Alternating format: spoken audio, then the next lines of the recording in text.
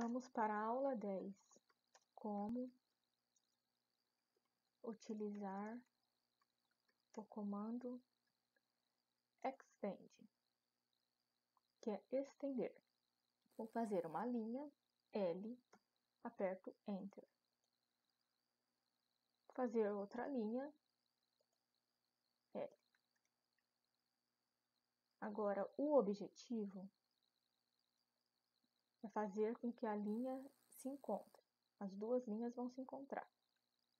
Vou selecionar as duas linhas e vou apertar E e X.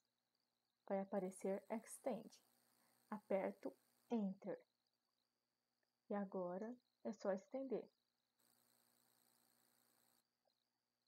Existe outra forma também de usar o comando, mas eu acho mais fácil selecionar todas as linhas para facilitar o processo. Porque, por exemplo, vamos supor que aqui eu tenho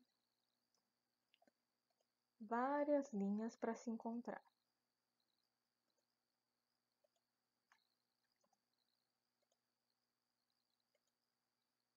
Eu vou dar o comando uma vez só, porque vou ter selecionado todas as linhas.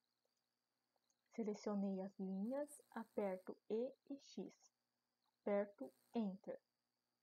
Aí agora é só começar a estender.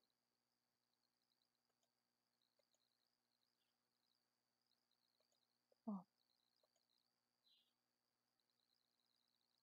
Assim o processo fica mais rápido. Por exemplo, aqui, se eu precisar vir até essa linha, é só clicar novamente. Entendeu?